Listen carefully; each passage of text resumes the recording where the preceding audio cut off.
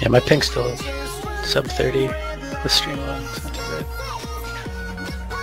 Well, it was. It's, yeah, it's still good.